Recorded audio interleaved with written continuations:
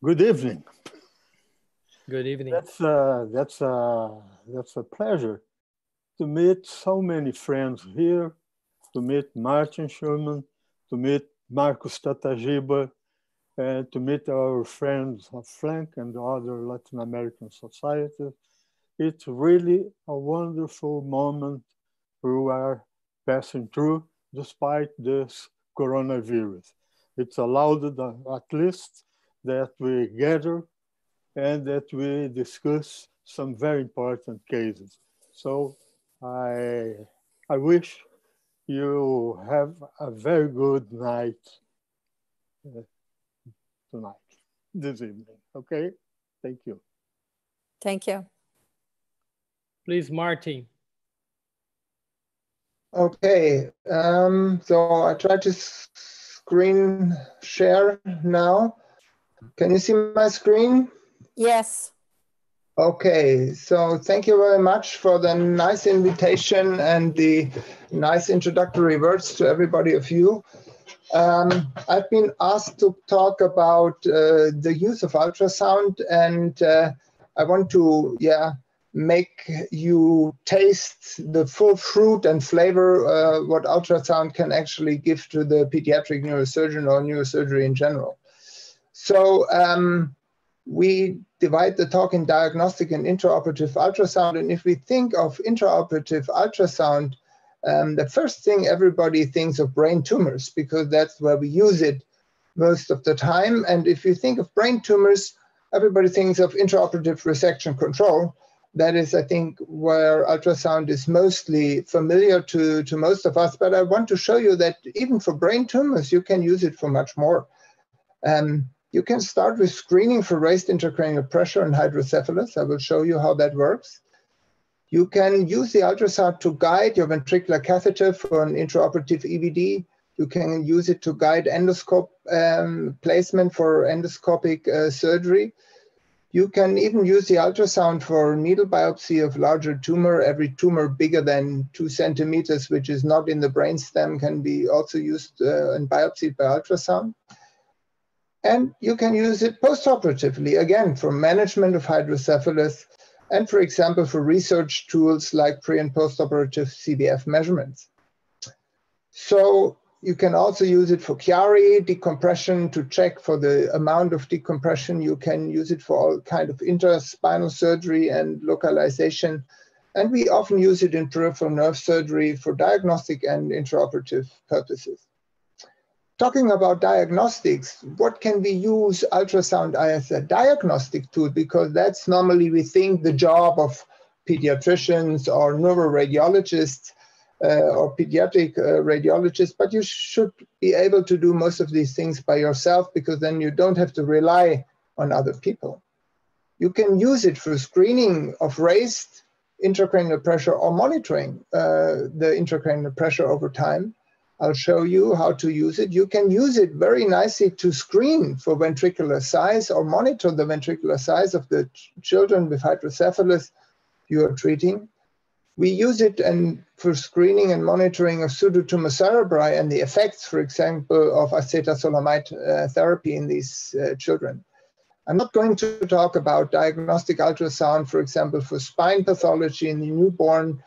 We use it for craniosynostosis. We almost do not do any CT scans anymore to prove an open or a closed suture. It can all be done by ultrasound. And I'm also not talking about peripheral nerve ultrasound where we use it in nerve injury or in tumors, um, for example, in neurofibromatosis. So if we take the example of pediatric brain tumors, we need a screening tool because the reality is they often cause raised ICP and hydrocephalus, but the obvious symptoms are very unspecific and brain tumors are rare. So you would not initiate imaging for the first symptoms of vomiting and headache. Then you have the problem of accessibility to MRI. You have specific needs like sedation. So MRIs are often postponed. In consequence, many tumors are detected quite late when the kid is already exhausted, has a big tumor and a large hydrocephalus. So what we would need is something where we can very easy screen and uh, detect raised ICP and hydrocephalus, it should be non-invasive and radiation-free for children. It should be applicable without sedation also to smaller kids. And it should be or should have a very high negative predictive value. So if you exclude raised ICP and hydrocephalus, you need to be sure that this is true. Ultrasound can do all this, and I want to show you how you can use it for diagnostic purposes. If you think of an ICP, the first thing we do nowadays is an ONSD, which is optic nerve sheath diameter. This is the diagnostic window to the intracranial compartment, and you can see here that the subarachnoid space is very nicely connected alongside the optic nerve sheath. So if the intracranial pressure rises, CSF will be pushed in alongside the optic nerve into the orbital cavity in there because the dura can expand in the periorbital fat, the optic nerve sheath is going to dilate when you have raised intracranial pressure. And this is an online tool. This is a matter of seconds. So how you measure the ONSD, if we have the eye here in the anatomical uh, cross section, we take an ultrasound above the eye. It should be 10 uh, megahertz linear with a mechanical index. You have to adjust this and lower this not to damage the, the eye bulb. And then this is what you get. In red, we see the optic nerve, which is surrounded by the optic nerve sheath. And then we have a picture like this. This is what we see in real time. In the middle is the dark black is the optic nerve. Then we have the blue, the optic nerve sheath, and they always measure three millimeters behind the bulbus. The same thing, actually, if you know how to look for, you can see in um, MRIs, like this actual T2 weighted MRIs is very nicely. And the question is, does that actually, um, I have just adjust something here, I'm sorry. Um, this is disturbing um, my presentation, so we continue. Does that um, actually correlate well to, to the ultrasound? And we investigated this in 46 pairs of patients where we had MRI on the honest, uh, honesty from the MRI and the ultrasound, and you see it's fairly similar. If you look at it, it correlates extremely well, or ultrasound and MRI, but correlation does not mean that you actually measure the same. So if you do a Bland-Altman plot, you see the bias is very low. It's 0.18. So MRI underestimates the true ONSD, and the gold standard actually is the ultrasound. It's not the MRI by about 0.2 millimeters. So this is just something you have to keep in mind if you want to compare an old ultrasound ONSD with an, uh, or an actual ultrasound uh, ONSD with an MRI ONSD. So the next step is how does optic nerve sheath diameter actually correlate with invasively measured ICP? We investigated 72 children with all kind of measurements for uh, uh ICP as you can see here, we mm, uh, investigated them awake and under general anesthesia or under sedation in all kind of pathologies. And if the child is above one year of age, means it has a closed fontanelle and the sutures are more or less stiffened, you have a very, very good correlation in the whole cohort here of 72 patients with a correlation coefficient of 0.36. That means the higher the ONSD, the higher is going the ICP to be. If you look at the age, and if you look at children below one year, it becomes not that good anymore. The correlation is lost. And if it's an open fontanelle, there is no correlation. If it's closed fontanelle, a little bit better. But basically, under the year of uh, under the age of one year, there is no good correlation, and you cannot use ONSD to assess ICP. Beyond that, it's a very very good tool. Why is that a very, very good tool? Because you see here the cutoff, which we have calculated, the cutoff from a large set of patients for to indicate an ICP above 10 millimeter of mercury is 5.3 millimeters. And it's an extremely good sensitivity and specificity. This is the perfect diagnostic test in this ROC curve. And the cutoff for 20 millimeter of mercury is roughly 5.8 millimeter. It's not as good in specific, but still sensitivity is very. So we have defined cutoff values. And now we have looked in 225 patients on the clinical relevance of ONSD with regard to ICP increase. And 104 children did not receive any therapy. They were just uh, received therapy and to decrease ICP, and their mean ONSD was 5.8. And in 122 patients, we, from clinical decision making, said there's no intervention needed, and the ONSD was 4.8, so a clear difference. And if you look again at the cutoff value, it's again 5.3 millimeters.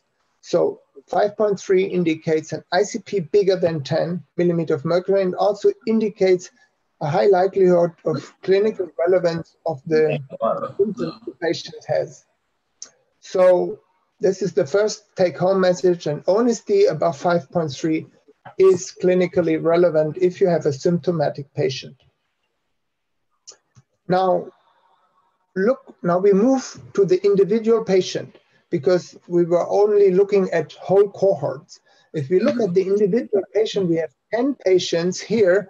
And if you look now on the individual curve, you see the individual has a linear relationship between ICP and ONSD. So in one individual, any change in ONSD is correlated one by one to change in ICP. And if you have two data points from one patient between ICP and ONSD, you can even take a formula and calculate the ICP from the ONSD. But you see in every patient, it's a very different curve.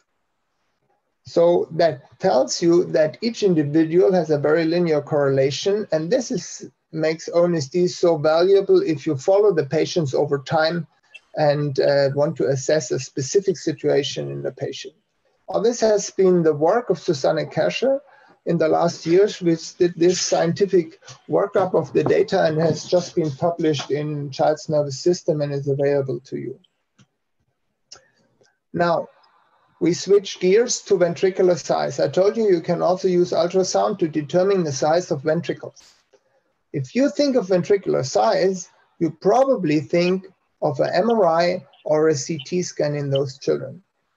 I want to show you that the first thing you should think of is ultrasound again. Transtemporal ultrasound measurement of the third ventricle. The neurologists have done this for many years for movement disorders and looking at the midbrain and defined age-dependent normal values for children, which is 1.5 in a healthy child and about three to four millimeters in an adult. Now the question is, can we yeah. see the third ventricle by transtemporal ultrasound? And of course, the question, uh, the answer is yes, in 90% of the cases. So if you start from a transtemporal window uh, on the mesencephalic level, you will see here black in the middle, these two olive things. This is the mesencephalon and the two cerebral peduncles.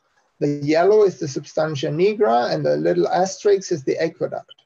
And this is a, a axial scan. If you tilt then the ultrasound a little bit higher upwards, and in the middle scan we have the yellow arrow, this is the pineal gland. The two asterisks is the, is the thalamus in between these two little lines. These are the two walls of the third ventricles. And if you measure here across, you get a very precise measurement of the third ventricle. So in 90% of children, you will be able to assess the third ventricle by a transtemporal ultrasound. The exception is only children with epilepsy or overdrainage, which have very thick bones. The next question, if you want to use this, is does TVD actually correlate with the gold standard, which is now the MRI? And here we have three examples of TVD. You're in the lower ultrasound, you again see between the two little asterisks, you see the two walls of the third ventricle, and it looks quite well. We have investigated this scientifically. Susanne, again with Luise Schweitzer, our medical student, and they looked at 122 pairs of MRIs and ultrasound TVD done at the same time when the MRI was uh, done. And you see again an extremely good correlation between MRI and ultrasound. Correlation does not mean that you measure the same. If you do the Alt and uh, Bland and Altman plot, you see very nice limits of agreement, and the bias is 0.2 millimeters, 0.12 millimeters. That means in ultrasound, the TVD is 0.1 millimeter larger than in the MRI. And this is very nicely explained by the fact that here on the left side, the MRI is an axial scan and the ultrasound is a slightly angulated scan. So you have a little bit higher passage or uh, transverse through the third ventricle, and that explains why it is 0.1 millimeter larger in ultrasound.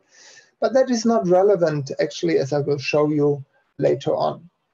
So in 90% of your kids, if you can see the third ventricle, you can rely on ultrasound as you would rely on an MRI scan.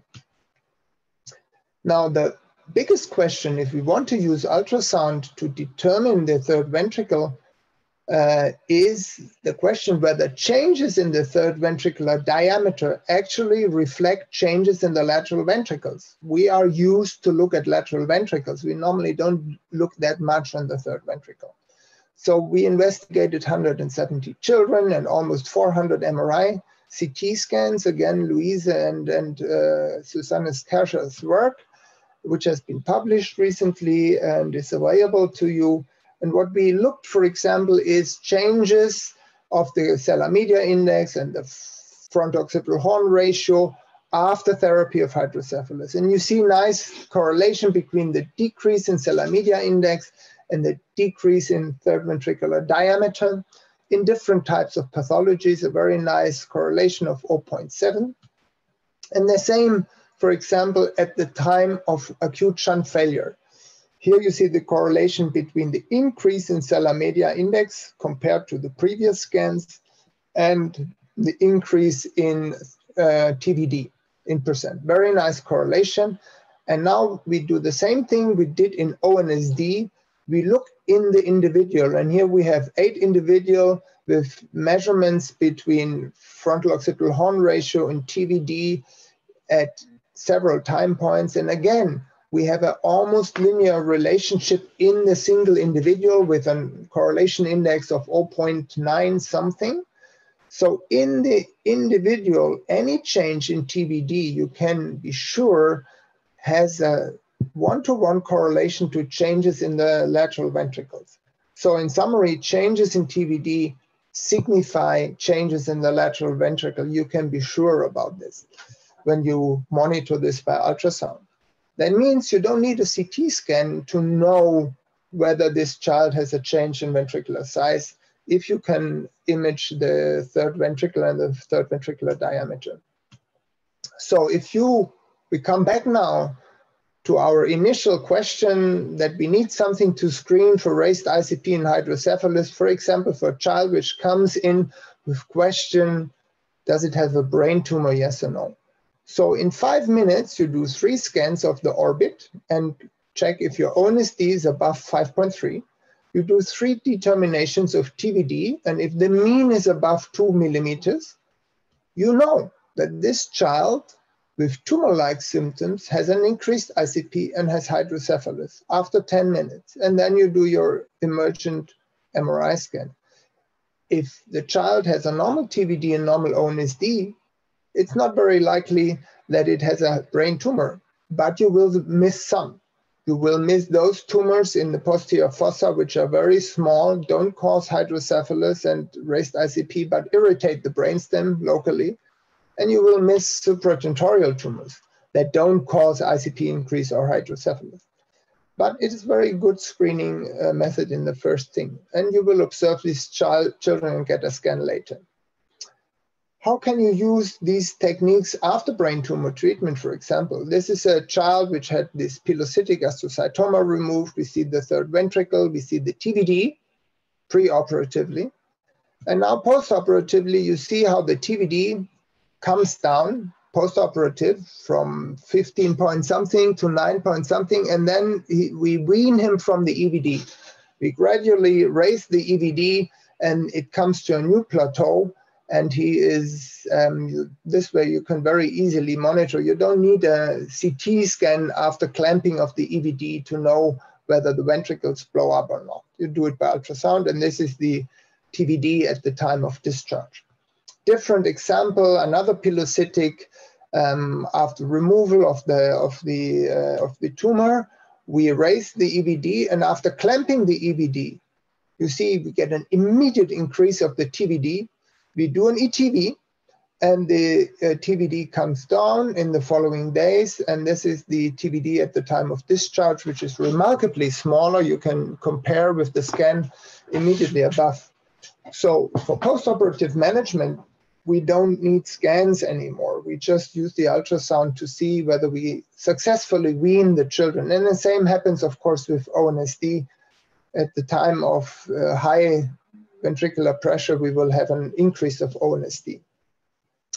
So if we want to manage children with hydrocephalus, not only tumor children, we can we do ONSD and TVD on every routine visit. And the child comes in for a routine visit once a year, and then we know what are the individual normal values for ONSD and TVD when the child is well.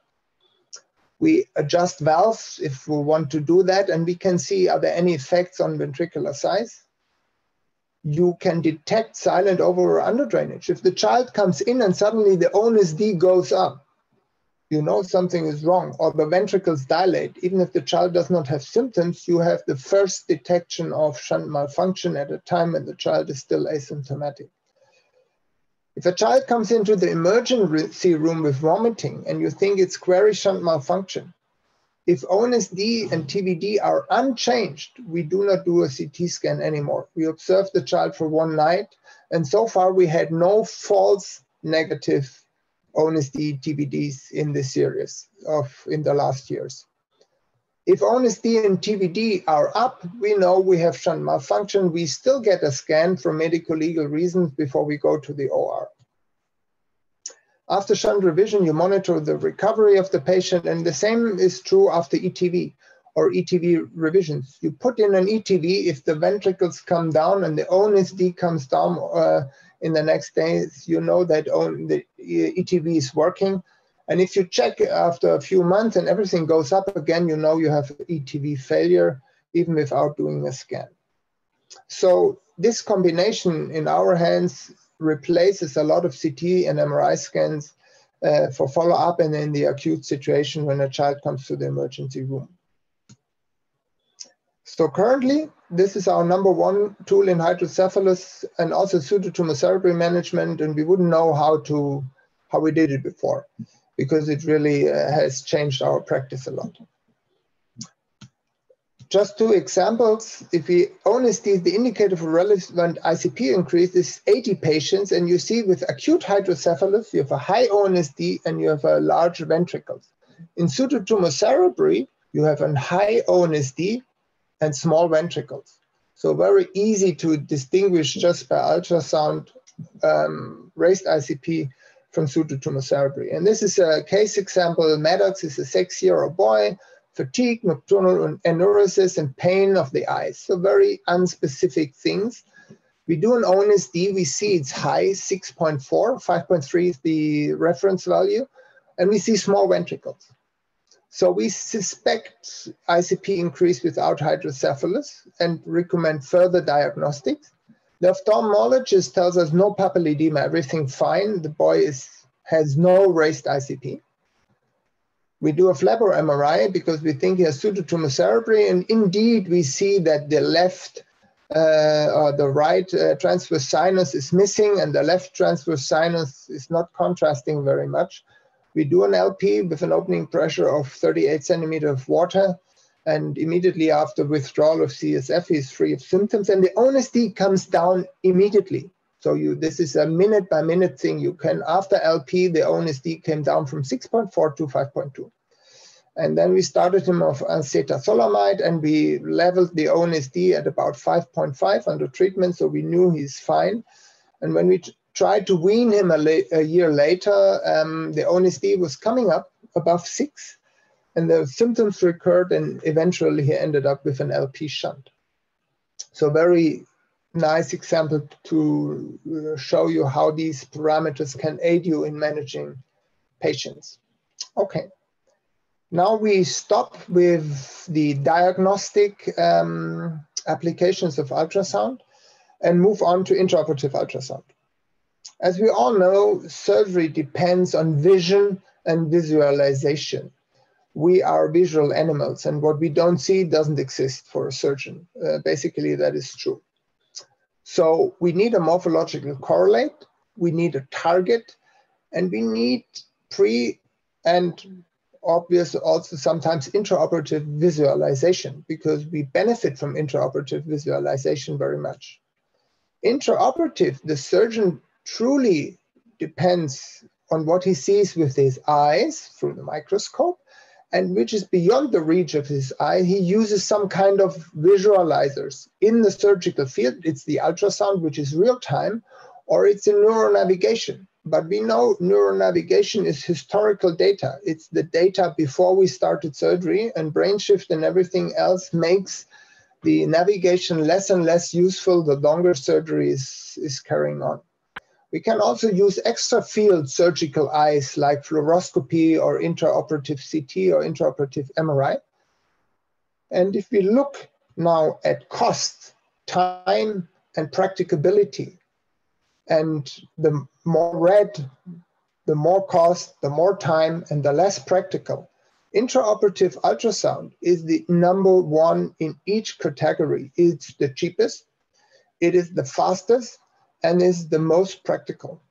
And intraoperative MRI, which is a great tool, which we use a lot and which we love a lot, is expensive. It takes you one and a half hours to get the scan, and therefore the practicability is, is much lower. Although the resolution, of course, is unbeatable for certain pathologies like low-grade gliomas.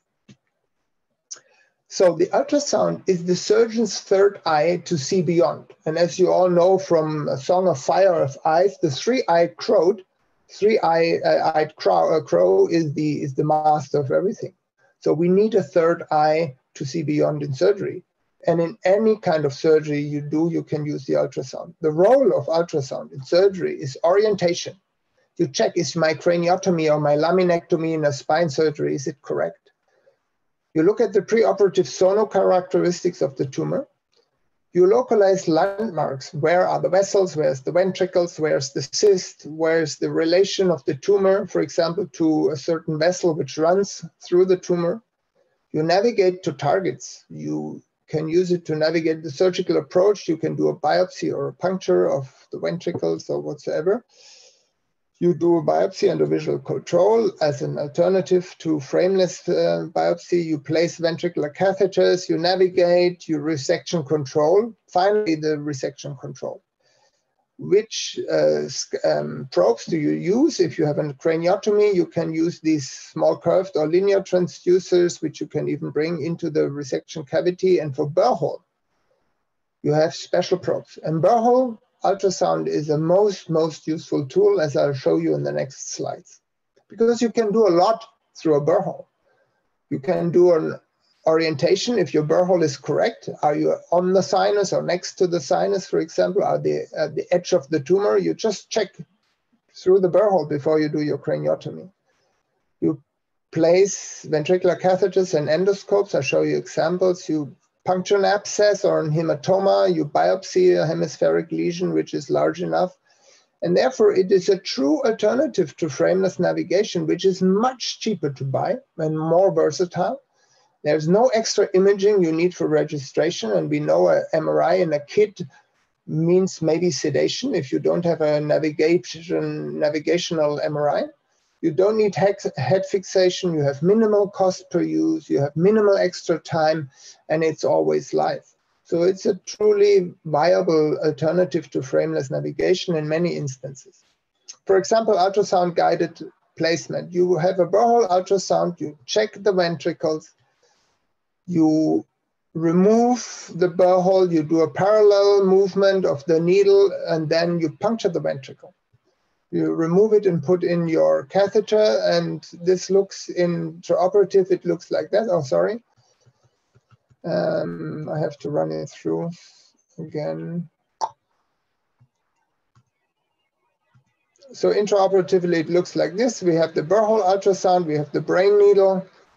We do our our scan to determine the, the perfect trajectory, then I do a parallel movement and slowly introduce in the exact correct trajectory the um, the ventricle and you see the dripping of the CSF. There's not much pressure on it, but we have a nice ventricular tap.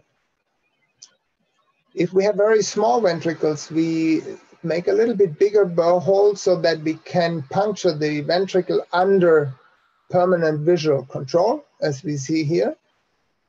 And then again, we can insert um, the catheter. And I show you an example how we puncture the ventricles in a nine-month-old baby with a recurrent suprasellar arachnoid cyst with optic nerve compression and we do an ultrasound guided puncture with the endoscope for fenestration. You see not very big ventricles, nine-month-old child. Uh, otherwise, you would need to use frameless navigation to hit these ventricles. So we do an oval shape burr hole. We have the trocar of the pediatric endoscope next to the ultrasound.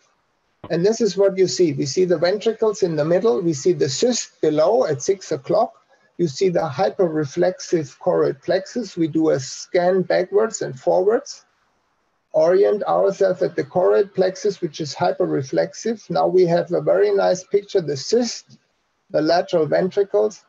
And now you see how I do a live navigation of my endoscope trocar inside the right frontal ventricle.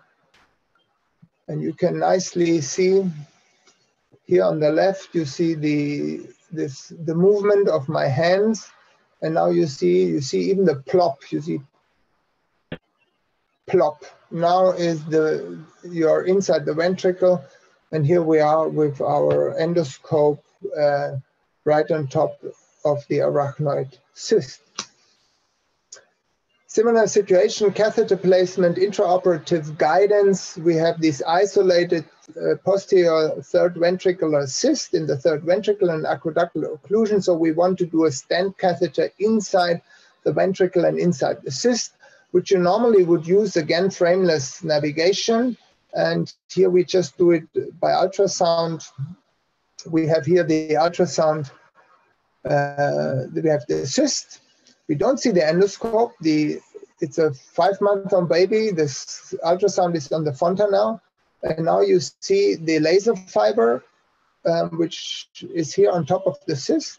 And when we see the bubbles inside the cyst here, we know that we actually have successfully uh, under endoscopic view. At the same time, I have the endoscopic view and see that what I'm doing. And in the ultrasound, you see that I have now opened the uh, the cyst, and then the catheter is introduced under under endoscopic view and then um, connected to, to the uh, to the shunt and in the end you check again whether your ventricle is actually your uh, catheter is in the correct position as I show you here and we very nicely see the tip of the the tip of the uh, ventricular catheter in the third uh, in the cyst in the posterior third ventricle, and here's the lateral ventricle.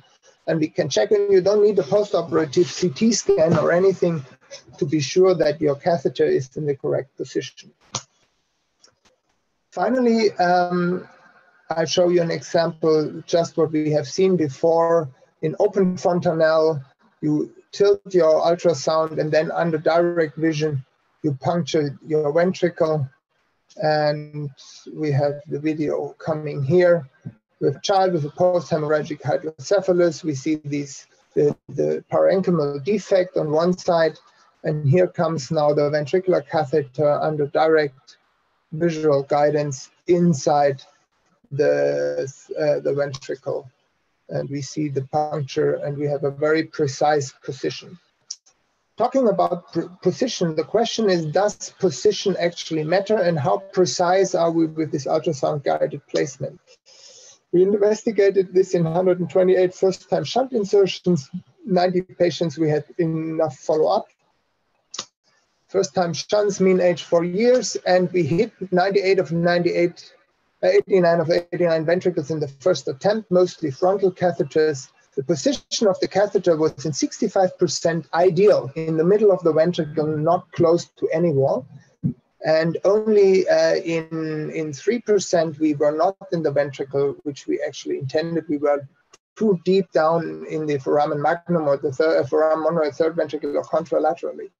So 89% of the catheters were in the intended ventricle, 65 in best position, and when we look at the occlusions, we had only a few early and uh, late uh, occlusions. And if you look at the catheter position, you see that um, four of the six catheters which failed were touching the wall and two were in the middle.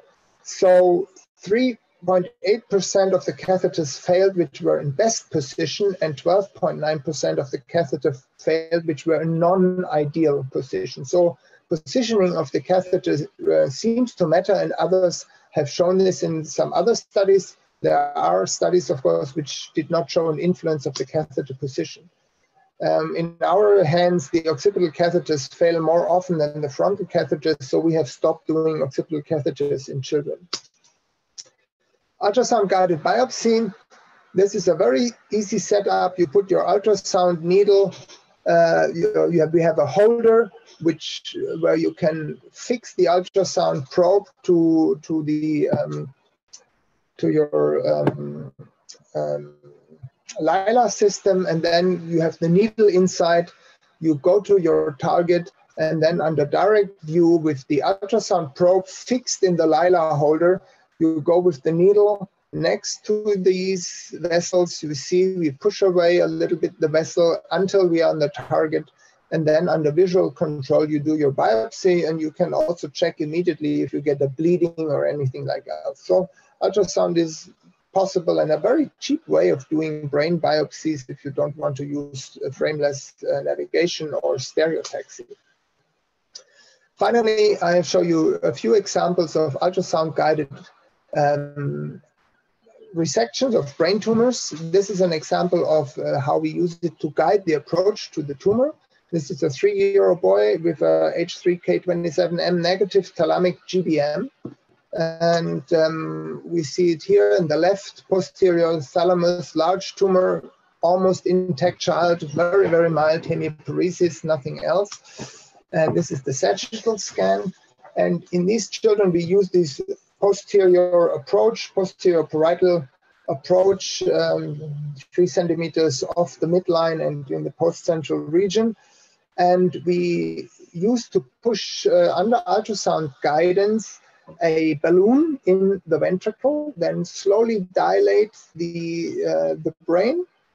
And then in the channel we have created this way, we put in a plexiglass tube as a round retractor, and through this we perform the surgery.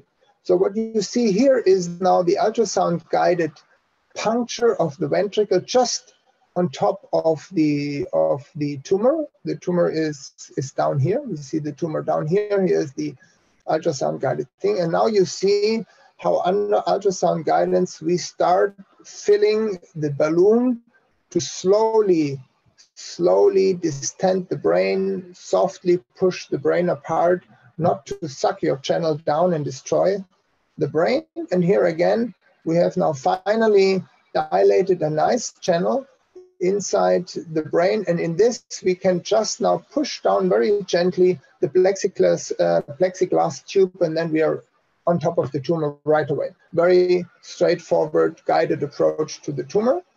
You cannot use this ultrasound for these deep-seated lesions very well for resection control.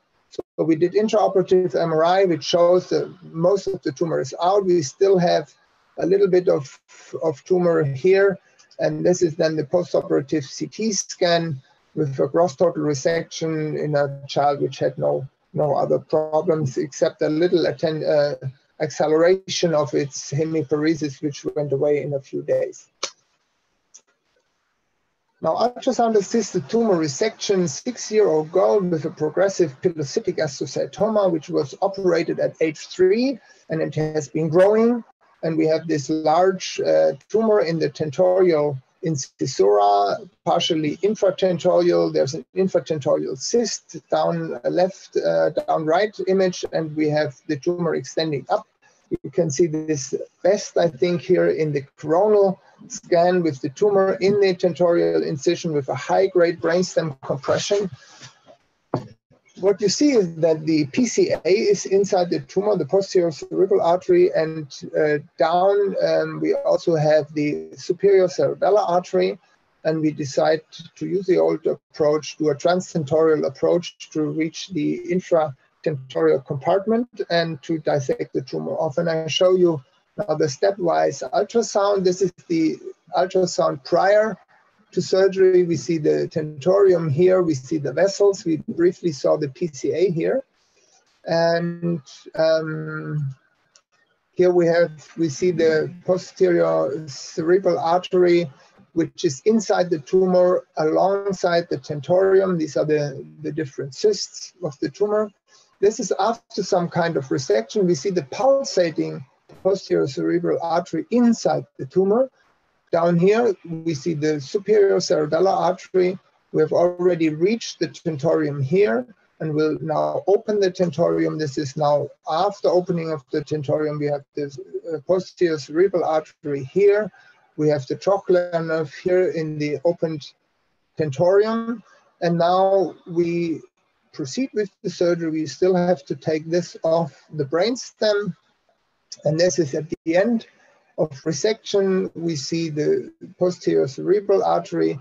Down here is the uh, posterior cerebral artery with its branches. The tumor is now removed. You see the uh, superior cerebellar artery down here, and this is the brainstem. This corresponds to this part of the brainstem, and this was the end of resection with a nice postoperative result, very little residual tumor down here, and a little bit residual tumor alongside the posterior cerebral uh, artery here. This picture now shows you something which is very important. If you look at this scan, you will say, damn, here we think there is still residual tumor. Why didn't he take this out? Fortunately, we didn't do it because it's the brainstem. This is here. But why is the brainstem so bright and it looks like that there's residual tumor? This is a very uh, known um, artifact in ultrasound guided surgery, but you need to know this to interpret the, uh, the images correctly. This is our post-operative end of resection scan, and the ultrasound waves are attenuated in the tissue on the left and the right in these two red arrows. And because they're the, it, it attenuates the, the beam. And inside the water in the middle, in the resection cavity, the beam travels much faster. And because it travels faster, it hits the end of the resection cavity, it hits the brain tissue with a higher speed. And therefore, we have an enhancement, a signal intensity and it looks like residual tumor. So the, the mecca of intraoperative ultrasound is in Trondheim, in Oslo, in the group of Geirmund Unsgaard, with the, the god of intraoperative ultrasound. And they know, of course, of this problem, and they have started to develop an acoustic coupling fluid, which actually has the same sonographic behavior like normal brain. That means inside the fluid, the sound travels at the same speed like inside the brain. And then you get rid of the artifacts. And you can see this very nicely here on the left side is a normal picture with normal saline. You see the attenuation of the, uh, of the image with the hyperechogeneity. And on the right side, the cavity is filled with the acoustic uh, coupling fluid. And now you can clearly see that there where the red, where the orange spot is, this is where there is truly residual tumor. And this is an example on the left side, you would think that there is residual tumor. And when you fill the cavity with this acoustic coupling fluid, you see that there is no residual tumor at all, that you have a complete resection. So these images are taken from the publication with the permission of the authors. I talked to Tormod, and the, we think that this acoustic coupling fluid will be available on the market in, in about one to two years, and this will make a, a huge difference in intraoperative ultrasound imaging. Another example on the right side now is the Ringer um, uh, image, and on the left side we have acoustic coupling fluid, and we can now clearly see the residual tumor, which was not so clear before. The last case I wanted to show you is how you can use this in spinal cord tumor resection. This is a 15-month-old boy with torticollis, which is his only symptoms, no other symptoms than that. And we see this very, very nasty pilocytic astrocytoma, which is diffusely infiltrating the whole spinal cord. It has no clear-cut borders except in the very top, in the very beginning. And you can see also on these um, scans here that it is a diffuse infiltration of the surface of the spinal cord. And that was exactly the intraoperative situation, that this was a diffuse infiltrating tumor. And you can also see in the higher resolution ultrasound, this is at 14 megahertz, our intraoperative linear scanner, and you see no clear border whatsoever between the tumor and the surrounding uh, spinal cord. And here again, there's not even an, a hint where the tumor ends and the normal um, infiltrated uh, spinal cord tissue would start because it was indeed infiltrated. You see now the upper part, and you can nicely mark when you start opening the, the uh, spinal cord uh, between the dorsal columns, you put in a little piece of gel foam or Surgicel, and you can nicely mark your dissection borders. This is the upper border, and this is the lower border of your, of your opening in the spinal cord. So you make sure you are in the right spot in a situation like there where the tumor and the brain, uh, the spinal cord tissue look very much the same. And then actually we did in this case a totally ultrasound guided resection because there were no borders. We just went in there and the these uh, potential IOM were more or less stable and more or less reliable in this child. And then we just work our way down according to ultrasound criteria and said, okay, this is probably the border. You could not actually distinguish it by eye. And then you work your way down in the spinal cord. And always remember that we have an attenuation in the middle. So the hyperintensity on the bottom is a wrong hyperintensity. This is not necessarily tumors. So we worked our way on ultrasound criteria uh, did a nice debulking. This is the postoperative scan on the right side. Almost all the contrast enhancing tumor was removed and uh, we still had some edema and we were quite happy with this result. And here you can see the infiltration of the dorsal columns and, and part of the spinal cord by the, by the tumor. So in summary, we have a very broad application field for diagnostic and intraoperative ultrasound which I hoped I could show you in the last hour. Actually, from a diagnostic point of view, the ultrasound is the best friend of the pediatric and also the adult neurosurgeon. I think especially for the uh, pediatric neurosurgeon because of the high load of hydrocephalus cases. And it helps us solve most of the problems in, in daily business with ICP and ventricular size.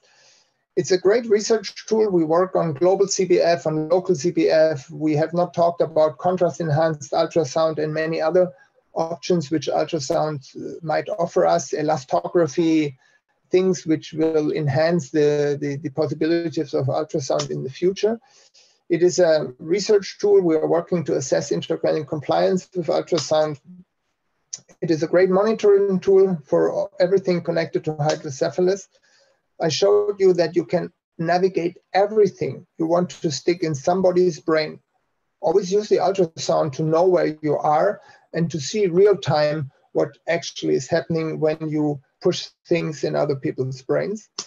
Uh, it's an intraoperative tool for resection control and with elastography and contrast enhanced ultrasound, we might even put things further. And then there is the new integration of ultrasound into uh, neural navigation systems uh, like BrainLab or other companies, where we will have a 3D ultrasound incorporated in the preoperative uh, images. And this works already quite, quite nice.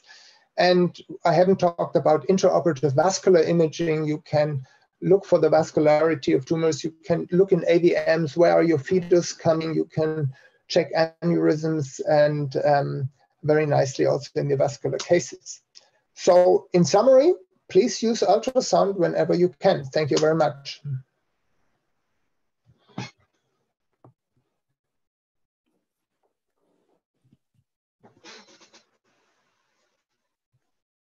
Thank you, Martin. very nice presentation. Very, very nice presentation. Exciting topic. I think that we will have some questions for you. Uh, Martin, first, uh, uh, I have a question for you. It's uh, did, do you uh, uh, did you show um, in different applications for ultrasound? It's very nice because uh, you have different tools, so different probes for each uh, useful. Uh, otherwise, uh, what is your opinion about uh, prematurity to use uh, Doppler uh, associated with ultrasound? If you have this, if you if you use this to study hydrocephalus in, in, prematurity, or if you do use Doppler to study ICP signs uh, in patients that you need to, to study?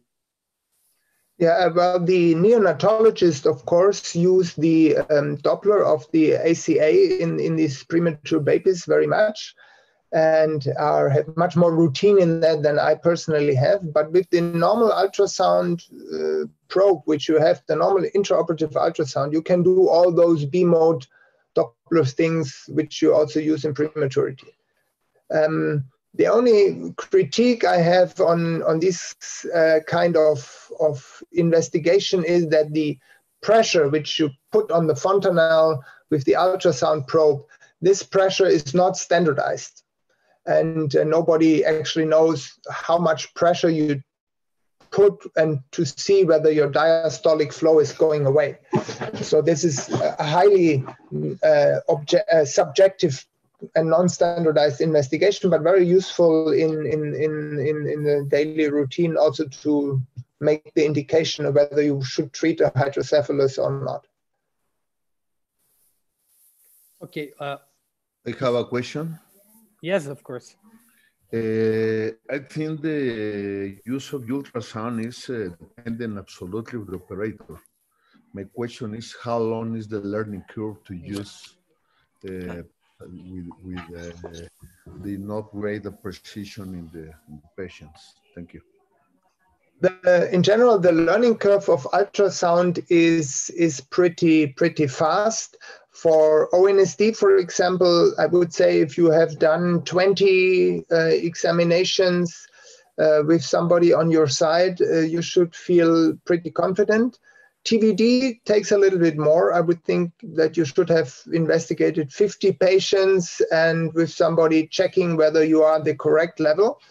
But it's also not too difficult. And intraoperative ultrasound, it depends really that you use it every time. So we offer a, a workshop for ultrasound uh, and to actually teach all those techniques. It's together with Llewellyn Padayachy, which is one of the pioneers in intraoperative ultrasound and, and diagnostic ultrasound. He was one of the first people to explore ONSD in children. And we have this ultrasound workshop every year in Tübingen in November. Nelsie has been there as in our first ultrasound course and um, uh, everybody's invited. It is this year on the 7th and 8th of November in Tübingen. It's called WUPIN, W-U-P-N. Uh, I will can send it to Ricardo and he can send it to every everybody who is interested. The WUPIN, upn-workshop.org and you're all welcome for, for, for training. I think the important thing is you use the ultrasound as often as you can. And we have been stealing ultrasound machines in the whole hospital for, for our outpatient clinics for the first two years until we had our own machine. This is how you start. I mean, you just take a machine and, and exercise. Thank Congratulations, so Martin. Fantastic lecture. Uh, really, uh, you explore several use of ultrasound that it doesn't use. And your course is really very practical course. I recommend is and this, this auspice of uh, World Federation also. We encourage the neurosurgeon to do it. But in our reality, uh, is not so common to use until now, since I know uh, we doesn't use uh, routinely. Uh, it you show us uh, a little bit difference uh, we saw in the literature in the past, uh, systematic revision that there is no difference if you put your VP shunt in front or uh, posterior way. You find out that in posterior is uh, not so well placed catheter it's your experience is the reason because you move in the frontal way, even though if you have a contra incision to do the, the VP shunt? Yeah, you don't so, have additional infection or other complications because you have probably the most impressive rate of well-placed uh, ventricular catheter, almost 90% of precise uh, position.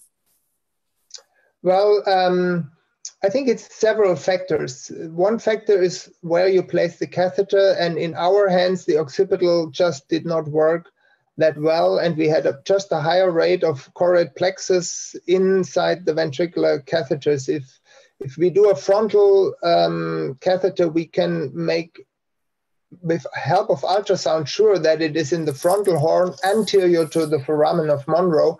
So you get rid of all the um, choroid plexus um, inside the, the uh, ventricular catheter. The other uh, important thing I think, which has really reduced the number of ventricular catheter obstruction, is that we use over drainage protected shunt systems from the very beginning.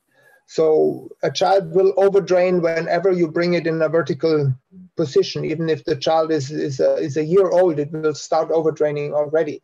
So, and that creates a suction. And since we use shunt systems where a child will not have any suction and any flow in the upright position, I think this is another contributor to a low rate of ventricular catheter obstruction, both positioning and the, and the overdrainage protection. Thank you. Hi, I'm Jaime Diego Perez from Mexico. I'm a true lover from ultrasound in the OR, I think is one of the best tools that we have uh, already. And I think that is clearly better than MRI and, and CT scan in the OR. Uh, we sometimes use uh, this transition for uh, small spaces with uh, uh, Hartmann or physiological solutions but a bag to to make our ultrasound. Have you already used something like that? No, we are we we are actually using normal saline. I have been experimenting a little bit with some kind of gels which uh, which you can actually put on the brain, which which uh, which is allowed to use, but they still don't have the same ultrasound characteristics like um, the brain. So we still have this uh, enhancement effect at the end of the resection cavity. So I think the acoustic coupling fluid from Trondheim is going to be a very good solution. And they worked worked for, for many years now on it. First to have it the right composition, then to have all the biocompatibility studies. And I think in one year to two years time, it should be available.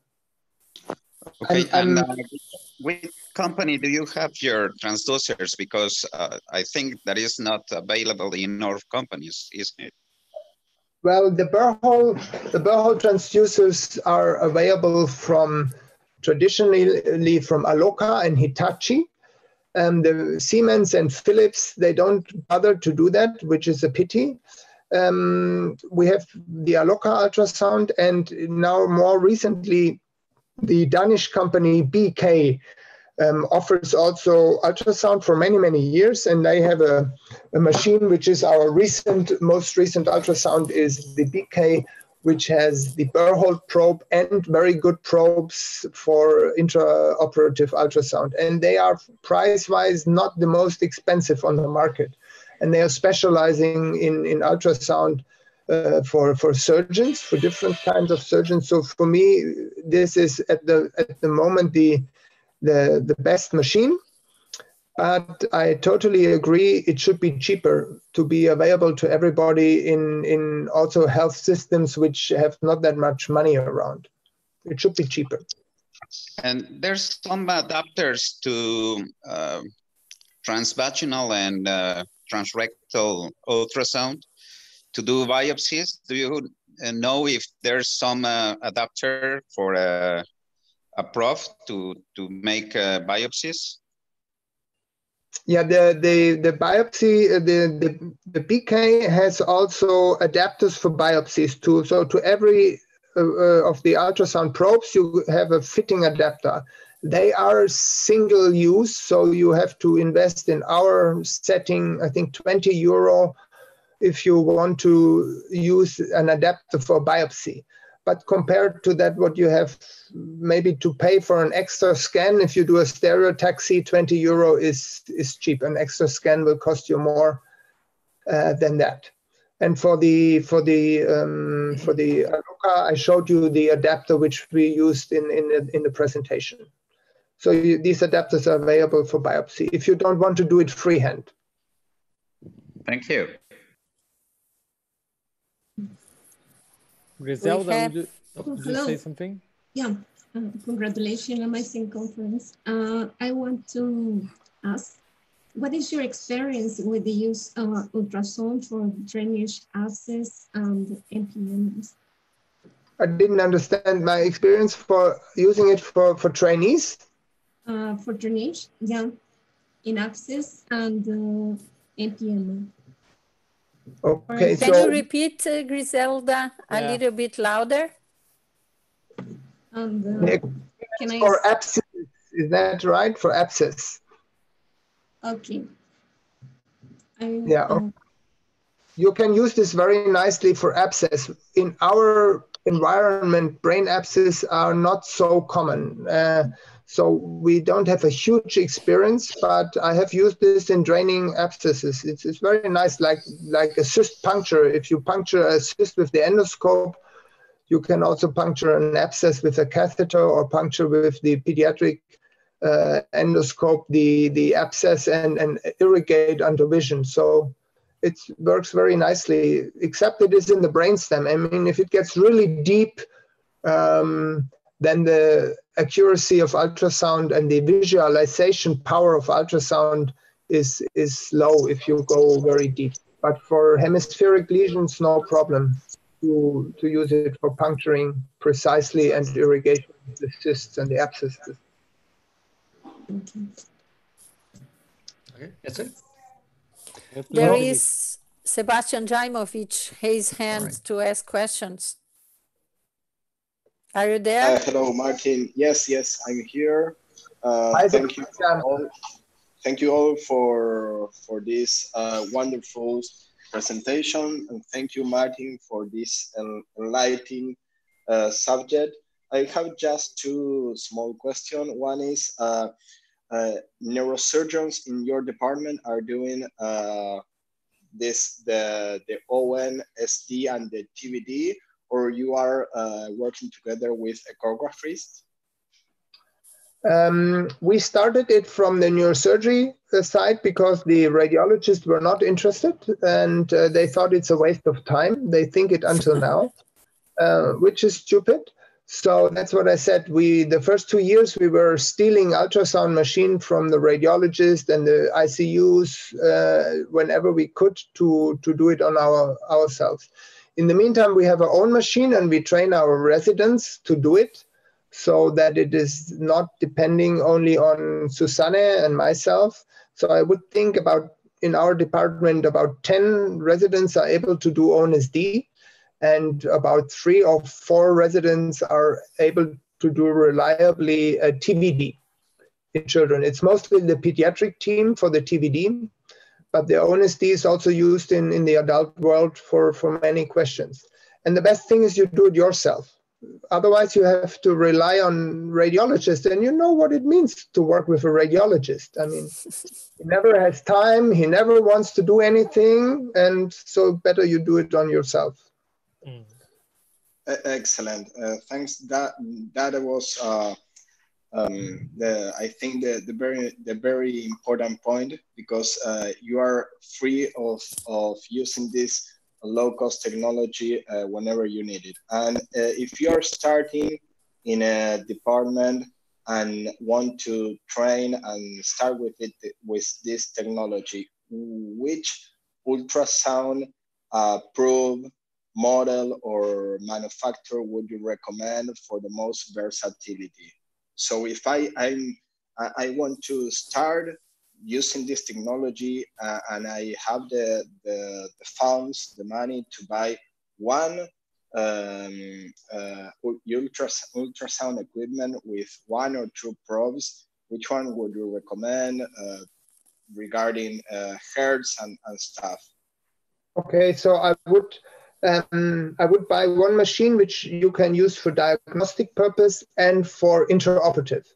So you can take it with you to the OR and you can use it outside the OR. Um, if you just can buy one machine, I, I think you need a 12 megahertz linear scanner, um, which you can use for ONSD and for peripheral nerve ultrasound and for localizing anything, uh, tumors or whatever in the skin or an abscess in the skin or whatever. You use a 12 megahertz linear scanner, which you use for ONSD. Alternatively, you use the intraoperative linear scanner, the 14 megahertz, which you can also use for ONSD. And it's small enough. That's the one I showed you uh, on, on the, the, the, small linear scanner, which you can use then for intraoperative ultrasound and intraspinal ultrasound. So one, ideally, if you only have one linear scanner, you just take the, the 14 megahertz intraoperative scan which you can use for ONSD outside the OR and intraoperatively you can use it for high resolution scans. Then you need a little curved array, 8 to 10 megahertz, which is the standard uh, probe for intraoperative ultrasound. And you can also use it for transfontanelle ultrasound in outside the OR. It's the same ultrasound uh, probe for, for these applications. Then you, you need a, you can buy a burr hole uh, probe because then you can use ventricular catheters and endoscopes and puncture cysts and puncture hemorrhages and everything you can do through a burr hole. And for TVD, you need uh, maybe to share, it's the same probe the um, cardiologists uh, use for cardiac ultrasound. It's a five megahertz um, array probe, which normally is used for cardiac ultrasound. So you may be able to share this with your cardiologist. And but it's also very useful for for sometimes you you get not only the TVD from here. In many of the children with this probe, if the the bone is not so thick, if you go a little bit higher, you get a very nice view. I would say in 50% of the kids of the lateral ventricles. So you have both the TVD and if you want to check the ventricles, you get it uh, trans, transcranially from the side. So three to four probes and uh, a machine which you can easily carry in and out from the OR. Excellent, Martin. Thank you very much. You're welcome. Martin, may I ask?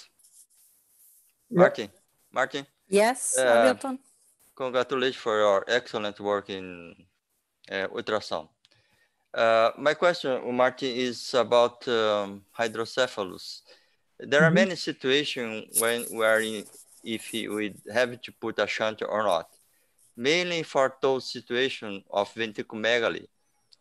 Uh, for example, after performing a IHV, you may be in doubt if that uh, situation is stable or not, the hydrocephaly is compensated or not. A situation when you have a huge hydro, uh, ventricle, and, but the patient has also a hypoxia uh, situation in, in newborn, and many situations mainly relate to the uh, ventriculomegaly. If the situation is uh, chronic hydrocephalus or a situation of arrested hydrocephalus. Uh, what do you prefer to use? Uh, uh, optical nerve sheath diameter or a TVD? We are not quite sure at the moment. This is, you're talking about uh, the question whether ventriculomegaly is pressure compensated hydrocephalus or pure atrophy. This is something we have been investigating um, so far with a more uh, physical means by either putting in uh, overnight recording pressure probes and or doing reservoir infusion studies. So I leave after each ETV, I leave a reservoir, and then we do a computerized uh, infusion study to actually measure compliance and measure um, elasticity. Or in the overnight monitoring, we look for um, the typical pattern of pressure compensated hydrocephalus. Uh, we are just about to publish this. I hope this is going to be published in the next two months.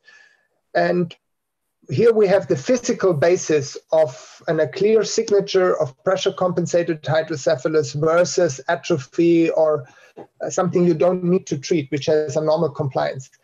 I can't answer at the moment how is the correlation of TVD or of ONSD to these type of pressure compensated hydrocephalus. We have started to work on that to come and but we have not enough patients where we can compare um, data from overnight monitoring or from reservoir infusion studies, so physical parameters to the ultrasound parameters.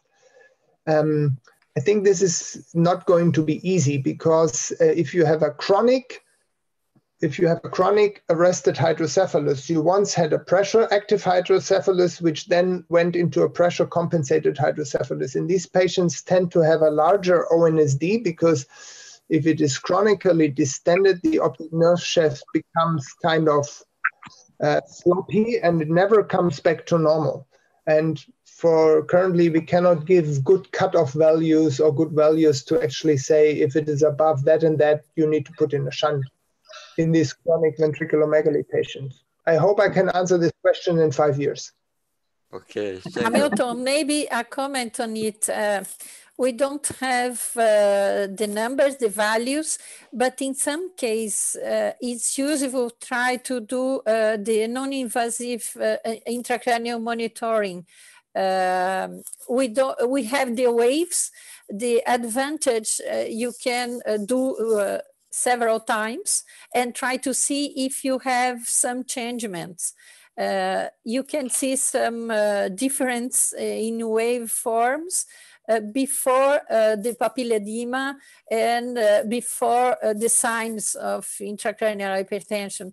Sure, we have limitation, the head circumference, and if, if the child is not quiet, we don't give value to the answer but uh, helps in some case. I don't know if you are using already in the University of Sao Paulo. Uh, we just start some cases and can be useful. Okay. Mm -hmm. uh, Martin, even for uh, Doppler analysis, is not reliable to distinguish this situation? Uh, we by have do by, by Doppler no, we haven't we haven't actually assessed uh, by Doppler um, routinely. So you kind of we never checked the correlation by for mean flow velocity of the MCA or of pulsatility index or autoregulatory indices which you can calculate. Um, we haven't done that in in in, in patients because these to do this reliably, the patient needs to be very compliant. So in a patient who is fighting um, and not laying, really, it's very difficult to do a very um, high quality Doppler examination if the patient is awake. You can always get a TVD even if the patient is fighting. Um, it's the easiest thing is to get a TVD. The patient is crying and fighting. The ONSD is not reliable either because as soon as the child is crying, the intracranial pressure goes up and you will measure a higher ONSD because the ONSD reacts immediately to, to crying. So the patient needs to tolerate the, the ultrasound probe on the eye. So uh, in general, above three years of age, most children, if you take some time and if it's not a crazy kid, can work from three years onwards. So it's still but a question. Hmm? It's still a question. Yeah. So, yeah. but above three or four years, it's, we, we use it, for example, to monitor craniosynostosis and secondary craniostenosis after it works very well. Thank you, Martin. Benicio, would you say something? Yes. Uh, first, I wanted to thank you for sharing uh, your experience with us. I think most of us learned a lot and changed our views during the uh, OR. Uh, my question was partially answered uh, because in our setting, I think most of, of, us, we share the same machine that the anesthesiologists use to access the central venous line. So we have to have a, a larger uh, surgical field to fit the probe. So uh, I think we will come at that to have a, a, a nice set of probe. Isn't that right?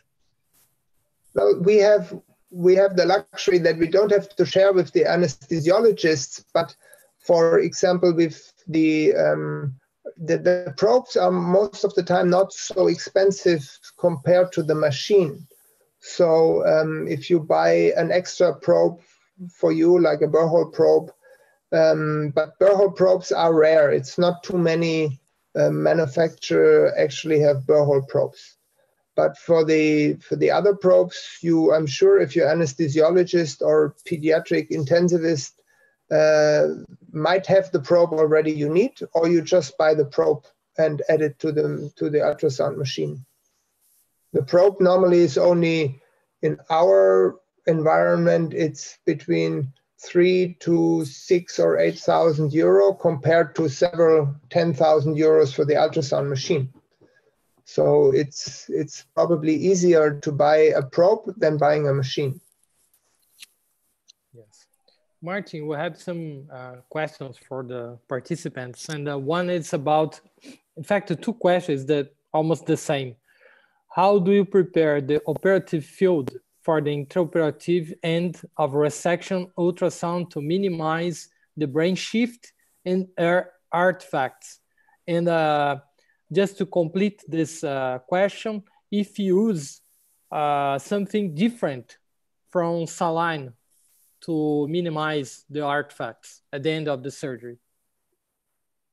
Uh, currently, we don't use anything different to start from the end because nothing else is kind of allowed to use. So the only thing you can put on a patient's brain is saline or ringer solution. Everything else will be a legal problem. And um, the, that's why we wait for the acoustic coupling fluid, which will then be CE marked and FDA approved. Um, regarding preparation of the field, you should always try to have the your your opening, your craniotomy more or less in the highest point, which is of course sometimes not possible because other aspects of positioning are more important. But if you do simple hemispheric uh, tumors, it's probably always good to have your craniotomy at the highest point because then you will have the best um, coupling with fluid and the least brain shift, if possible. But brain shift is not a problem because ultrasound will always correct for brain shift. You always have a life problem. It's more a question of how to fill your your resection cavity with fluid that you have a an a equal level of fluid in the whole uh, resection cavity. Yeah. Uh, we have another question. Uh, Ricardo Gap is uh, here. Ricardo, please, would you would you say the question directly? Yes. Yes. Hi, Martin. How are you? Hi, Ricardo. How are you doing? Perfect.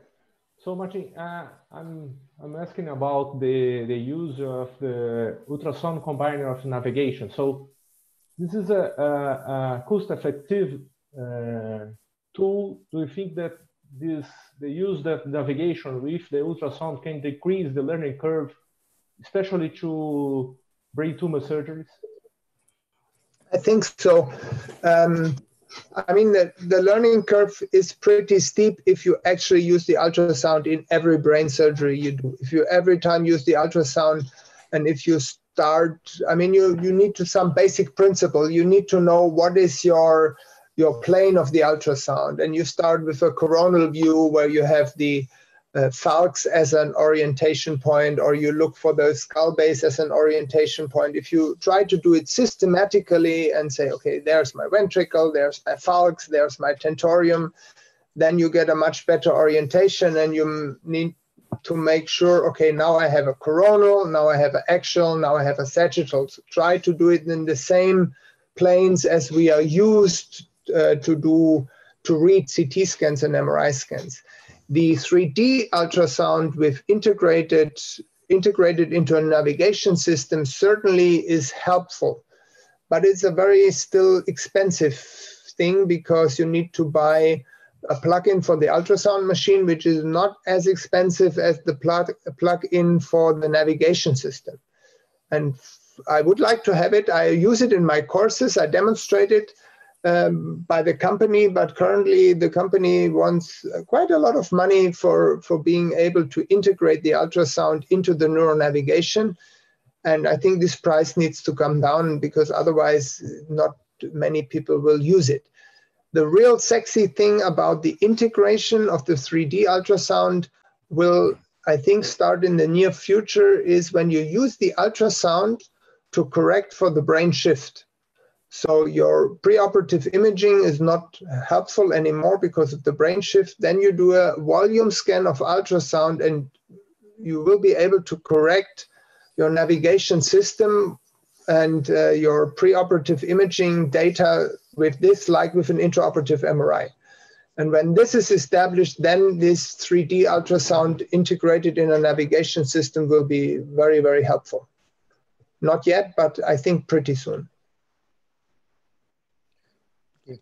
Martin, we have another question. Uh, if you apply the, o, the ONSD diameter on evaluation of TBI and head trauma, yeah, you can do this. This is an excellent tool, for example, to um, assess if a patient needs an ICP pressure monitor. So um, it is if you if you have to if you're not sure if you want to put in a pressure monitor, you can every day time do an ONSD and um, see. And if the ONSD is high, you put in a pressure monitor so the neurologists have already published quite a number of papers um, for in stroke patients to determine when the pressure goes up and whether the patient needs decompressive craniectomy.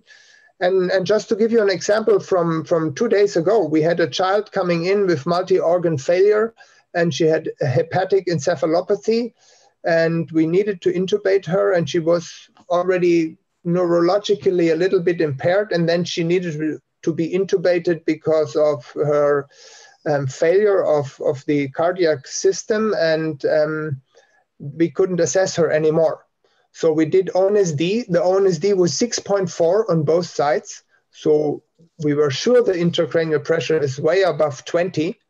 And when she went, she needed to go on ECMO because she had no, uh, she had heart failure.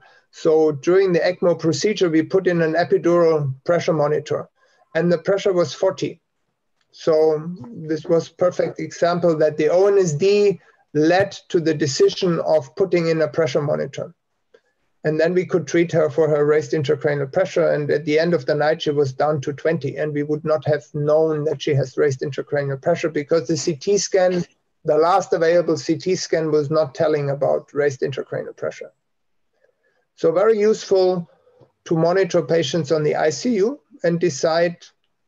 Um, and if you have an individual course and you see the patient had a normal ONSD and the next day it's one millimeter more and it increases more and more, you know this patient develops uh, raised ICP for sure. Okay. Uh, we have an interesting question. Uh, if you use ultrasound to decide to open or not the dura on Chiari 1 malformation,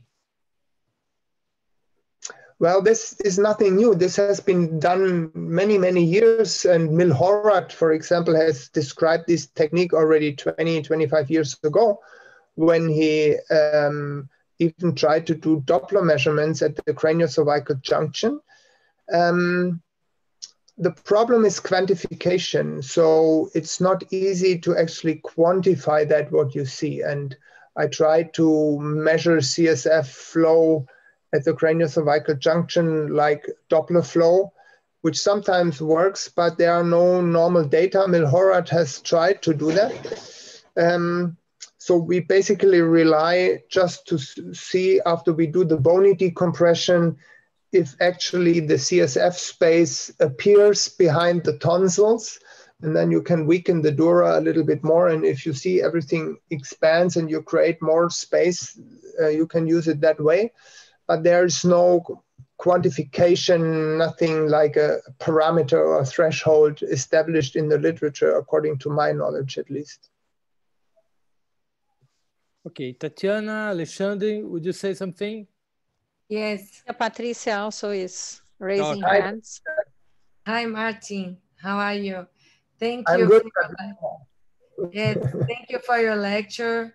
Uh, a lot of uh, information, and like Neuci said, you don't we don't use the ultrasound like you, so it's nice to see all uh, uh, the tools that we have with only one uh, um, ultrasound. So this is very nice. I wanted to know if you use for all VP shunts to place the catheter, you use always oh, the ultrasound or only for difficult ventricles to achieve. And if you think that the position of the catheter in the ultrasound can be related to a less uh, uh, uh, index of shunt dysfunction. Yes, so we use it always. It is obligatory. So if I catch a resident who is not using it, he, he is in danger not to, to go to the OR for some time.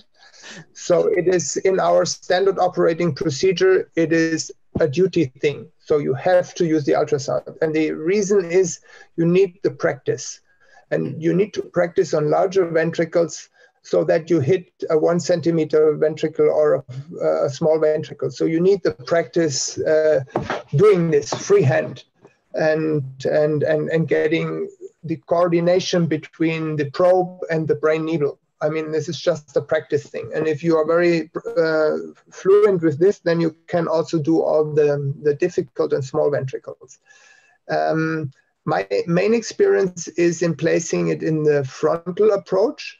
I use it always for placing, for puncturing the posterior horn in posterior fossa surgery. So if I take out a medulloblastoma or something like this with large ventricles, I don't do a frontal burr hole and then turn the patient around. So I take the patient prone right away and do a posterior burr hole.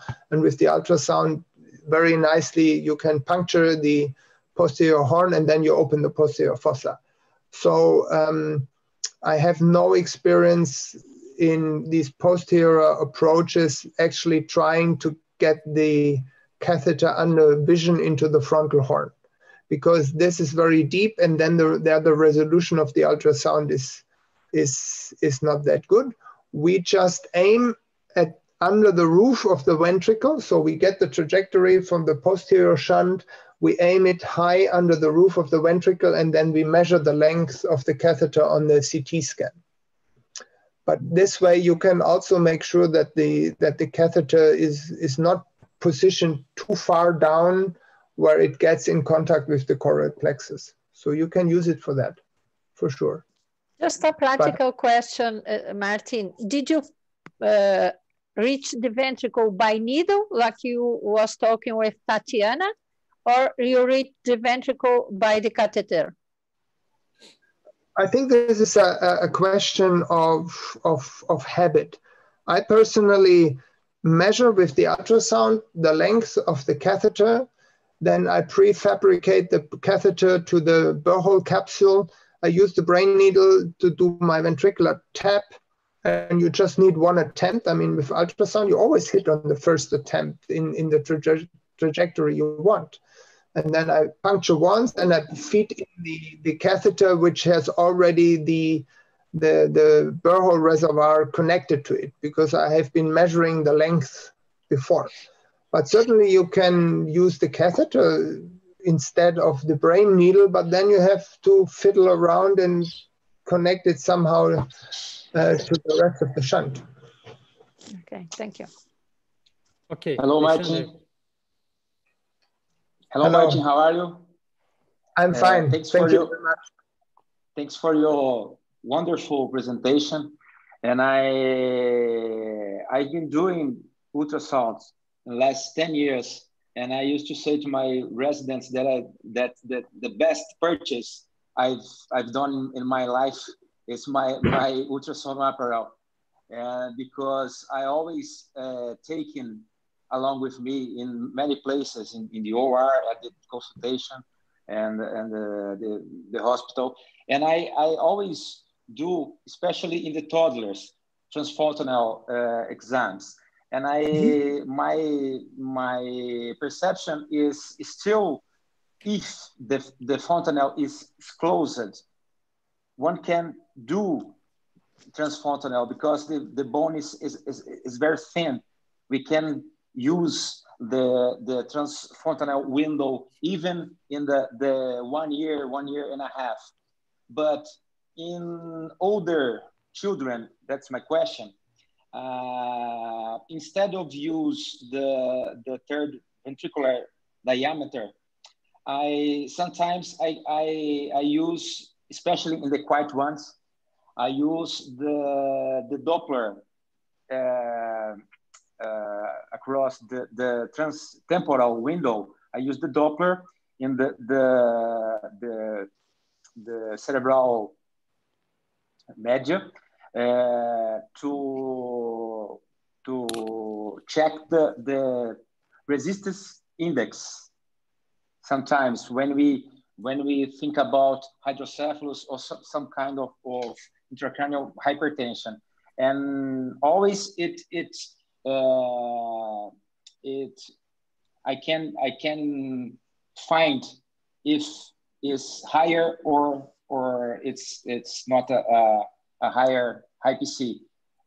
Have you ever been in any situation that you, you may use this, this trans temporal window for, for this, this kind of measure or always you've been doing uh, the TVD? Well, we have, um, it's the same window. So, and it's basically the same, uh, the same ultrasound probe, which you use for Doppler and for TVD, it's the same probe. So we have, we sometimes do the Doppler just to see the vessels and for yeah. orientation, especially as I showed you in the beginning, so you can nicely see the old circle of Willis, but we have not actually um, trying uh, or compared resistance index uh, or pulsatility index to ONSD. This would be interesting to actually see um, because for ONSD we have a very good correlation to ICP and we have thresholds which we now can rely on due to the work of the previous years. And it would be interesting to see if there is any correlation to pulsatility index or resistance index in MCA Doppler.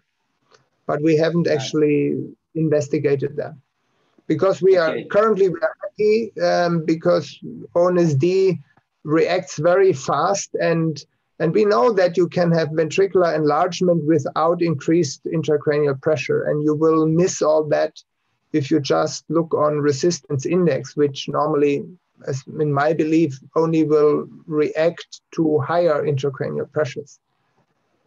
Okay, and with nice, TV, thank you.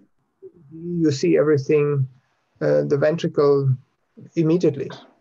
Yeah, yeah, nice. Thank you. More Martin, Martin, uh, would like to come back to craniovertebral patients? So uh, sometimes it's easy to see the, the CSF fluid after uh, only the bone decompression. So but sometimes not so easy and you do a very good decompression you open the ligament but the dura stay closed do you have any special clue of course it's not in the it's not in the literature but do you have any special clue to to use and don't touch the dura and and if no. you no?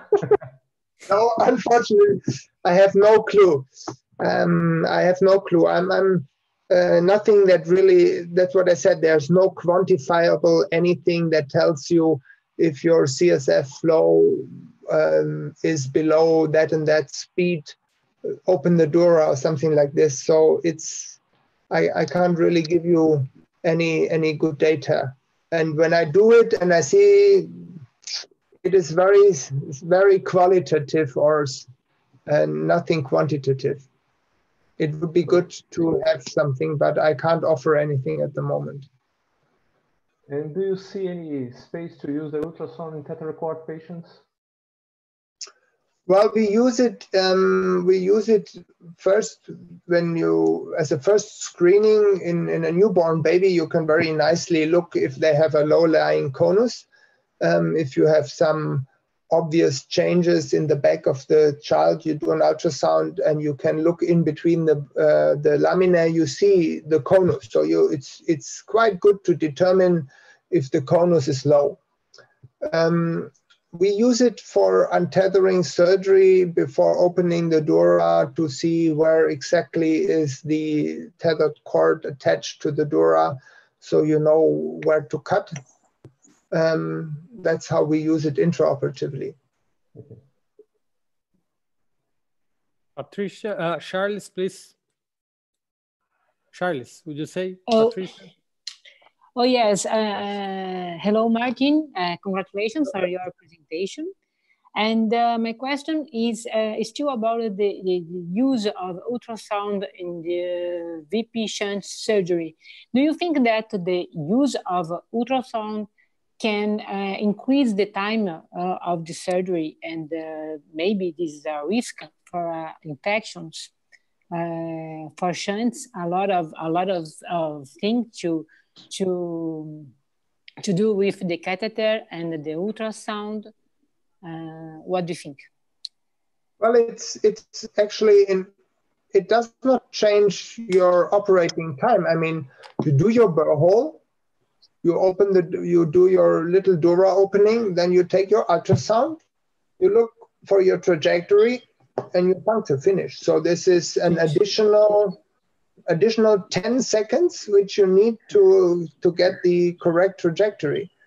And if your of course if you if your ultrasound drape is not sterile or you have a hole in there you bring something different to the operating field, the ultrasound head, but provided that your ultrasound cover has no holes and it was done as every other surgical tool, I don't think that it increases the infection risk. So our infection rate is 2%, so it's low. A, a, a larger bu burr hole is not very important. It's very quick to do.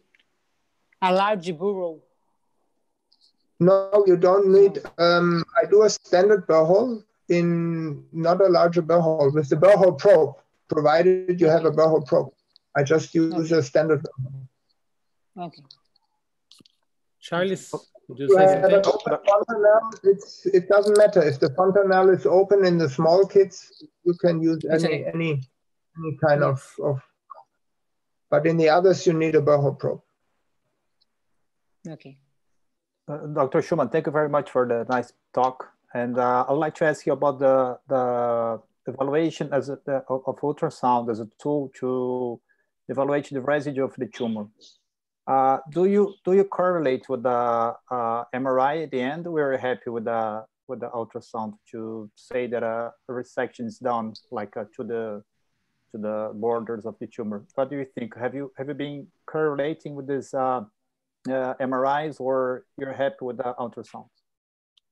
Um, so we have published a few years ago um, a large series of low-grade gliomas. In it was 30 patients prior to ultrasound, uh, prior to IMRI, and 30 patients after IMRI. Only low-grade gliomas, where I think, which I think in children is one of the best indications for intraoperative MRI, because it's a question of cure or not cure. And um, we, we always proceeded in the way that we used intraoperative ultrasound, and when we thought we were done, we then did the intraoperative MRI when, according to ultrasound criteria, there was no residual. And the result was that MRI detected in a significant amount of patients. We only 50% of the times we were really clean. And we increased this with intraoperative MRI after, after additional resection to 80% uh, real total resection of low-grade gliomas. So an extra 30% then. Especially in deep-seated lesions, um, everything thalamic or deeper um, ultrasound is not precise anymore because it's too deep and the resolution goes down. um, IMR is still beneficial. This might change if we use this uh, acoustic coupling fluid because then the artifacts are away and I think we will be able to see small tumor remnants much better with this type of fluid than we do currently when we put in saline. Do you have experience with the micro bu micro bubbles as a contrast enhancer to evaluate like the the ultrasound mm -hmm. images at the end of the resection? we haven't um, we haven't done that. We are starting the project at the moment. You need to do it in vascular tumors. I mean, obviously you will need a certain vascularity of the tumor, and so it will might work in pilocytic astrocytomas or um, or um, ependymomas or medulloblastomas, which have a good vascularity. Um, I haven't actually done it. In children, we need you need an ethics um, permission because the the microbubbles are not licensed for children. So we are we're filing that at the moment, uh, trying to to explore this contrast enhanced ultrasound. So Francesco Prada from Milano has published quite a bit on that, but mostly in adults. Okay, thank you very much. Martin, we have one question. Uh, if you if you compare if you compare adults and children uh, using parameters.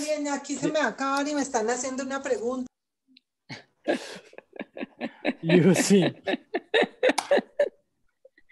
using ONSD and TVD as a parameters.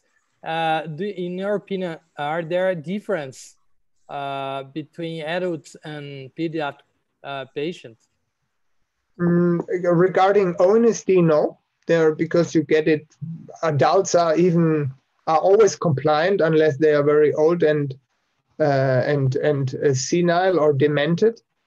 So ONSD works very well in adults, um, as in children. The TVD is not in adults you have more often thick bones so normally we say in 60 to 70 percent of the patients we will have a good temporal window for doppler and that's the same window we use for TVD.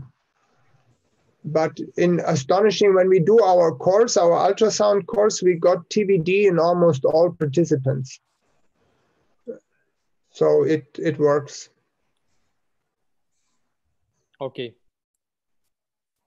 Anyone? We have a question for uh, the chat. Is uh, Dr. Alessandra Gorguglio. She tell uh, ask you about uh, vascular lesion. If you have some tips for cavernoma or AVMs, and if you can talk a little bit more about probes, size, frequency, and uh, and so on.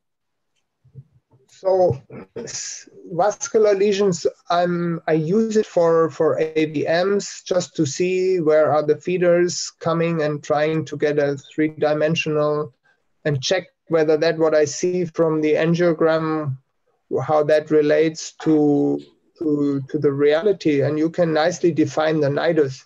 In cavernoma, most of the time are not very vascular, but it's very nice to locate the, car, the cavernoma. And for example, you can use the ultrasound, and then you take a ventricular catheter and you push it through ultrasound guidance directly to the border of the cavernoma, and, and then you have defined your approach and you follow this down to the cavernoma. So you can use it for this. Um, uh, but I have not a vast experience with 50 AVMs where we try to map AVM angio architecture with ultrasound.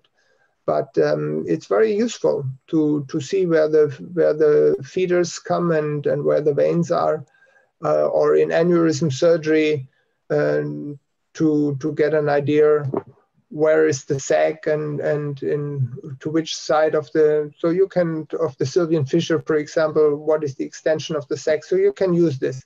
Regarding probes, as I told you, for the standard intraoperative probe is a a small head curved array. I can show you in the presentation. I think um, we go here to the to the ultrasound and uh,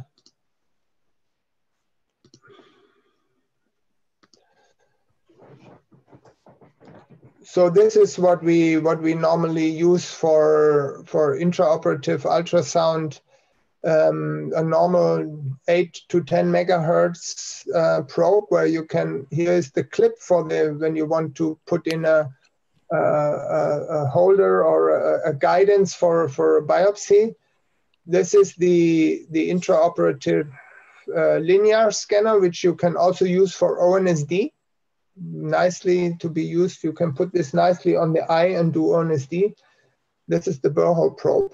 And for, for TVD, you need a cardiac, a normal cardiac transducer, which has five megahertz. You always need to remember the higher your frequency is, the less is the depth. So this with the 14 megahertz, you cannot see further down than, than maybe, um, than maybe three or four centimeters. Thank you very much. Uh, Dunia Patricia, are you ready to do the question? Are you listening? Yes, thank you. Still I was asking, uh, did you hear me? Yes. Yes, I do. Continue, please. I was asking about hydrocephalus, septated hydrocephalus, if it has helped you more, because that is a difficult task. Well, it depends if you have, if you want to use these to navigate your, for example, endoscope through different cysts. Um, it is possible if you have an open fontanelle or if you do a little craniotomy. If you just use the burr hole, um, you can only use this to puncture the first cyst to get the endoscope in, in the first cyst. Uh, um, but then you need a second access for the ultrasound probe, like either you use a little craniotomy or in a small baby where you have an open fontanelle. The deeper it gets, the more difficult it is. So in deeper lesions, or if I connect several uh, cysts, um, then I tend to use frameless navigation. Okay. Okay, okay. thank you. Some more questions from the panelists to Martin? March is too late. Germany. That's fine. It's, it's like it's like an on call, no problem. I still can sleep five hours. That's five enough. hours for... ahead. Yeah. Uh, I have a very short question, Martin. The wonderful presentation. I, I love ultrasound. I love. I really love it. This is a very important tool for us as pediatric neurosurgeons. Unfortunately, the, the resident, the young people, don't have experience with ultrasound, normally understand only CT and NMR. But I, I think uh, ultrasound is really very, very, very important. Um, it's a very short question. Uh, what's the name of the, the firm that produce this uh, uh, transducer. I think this is very nice. Yeah, this transducer is BK. This yes. is a Danish company which has specialized on on surgical applications. So they have a lot of probes for different types of surgeons and also for neurosurgery. So this is the the machine I decided. I had the chance to buy a new machine for the OR last year, and I looked at different types, and I, I decided for BK because they have uh, many features, and you can even later on connect it to frameless navigation and integrate it there. And it has a burr hole probe, and um, they also have a cardiac probe um, if you want to use it for TVD. So um, for me, this is currently a very good choice. Thank you. Adrian, would you say something? Yes. Um, hello, everyone. Hi. Um, how are you, Martin? I would I would really like to uh, commend because I had the opportunity, you know, the honor to be one of the revisers of the papers that Martin has written on this. And I think that very few times in medicine, you are able to see something that is so rigorously documented. I mean, there is no doubt that he went through all the necessary steps to prove that all these measurements are really accurate. I really commend you to read these articles. Uh, they're brilliant. And my question to Martin, uh, as you know, I am always puzzled and quizzed about over drainage syndromes. So uh, have you gotten any valuable data in patients with this so-called over drainage? Um, well, what you see is that the that the ONSD is very small. So these children, when we when they suddenly go down with their ONSD, when they overdrain the ONSD, is the optic nerve sheath collapses, so it's gone. So you're suddenly with parameters at four to 4.5 millimeters. So this might be an indication that you that you have over drainage when the ONSD is, is really low in the lower end. Um, but we have not uh, systematically, because we don't have so much over drainage because of our shunt systems anymore. But we had some cases where the over drainage protection device failed. And the children, we detected this because the TVD was going down. We said, Whoop, what is that? TVD is going down. And in some cases, also the ONSD was then decreasing to the value a year ago. So I think, um, but we have not systematically actually looked into it in because we don't have so many cases with uh, overdrainage syndrome anymore. Thank you. Martin, now I would like to thank you so much to be here with us until now, until this time. So very nice presentation. Nilce, would you like to add something? Thank you for all the panelists to still with us until now. Th thanks for the audience. It was wonderful for the questions. And uh, I hope it was excellent for all of you. We learn about it, a lot of ultrasound with you, always, Martin. Continue. Thank you very much. Thank you very much. Bye -bye. It was my great pleasure to meet you all uh, in these uh, special times, and I hope we will meet and have enough opportunities face to face uh, to see each other. And it was my great pleasure. Thank you very much. Thank you. Thank you. Thank Have you. nice week. Bye bye. Hi, Martin. Bye. Keep safe. Bye, Martin. Hi, Francisco. How are you? Good, good, good that you that you can listen. Very pleasure to see you. See you, hopefully in November. Bye, Martin. Bye-bye, Francisco. Bye. Thank you. Bye-bye.